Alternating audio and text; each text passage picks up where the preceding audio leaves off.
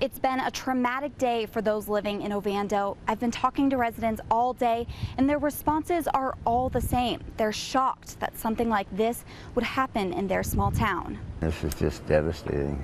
Uh, it's a big biking community, and uh, I don't know what's going to happen.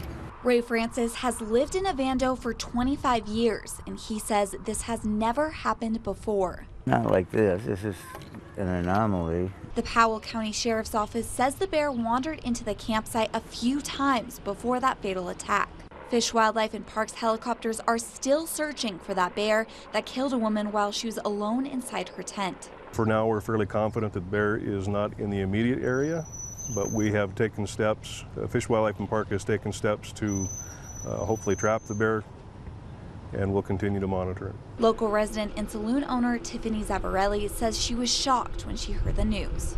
Something like this just kind of shakes us, and, and this is a small community, and more so than a community is a family. So it's a small group of people, um, so it's a little nerve wracking. But she says it's already brought the town of less than 100 people closer together. I think there's a sense of unity with all of us. We're all in contact with one another, and I, I think from my husband and I's standpoint, we just want the community to know that we care and that we're here if they need anything at all.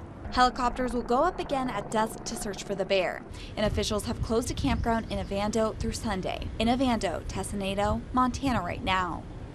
Hello, I'm Mark Brown. Get more great ABC7 content by clicking the subscribe button for our YouTube channel and download the ABC7 Los Angeles streaming app on Fire TV, Android TV, Apple TV, and Roku to watch on your TV.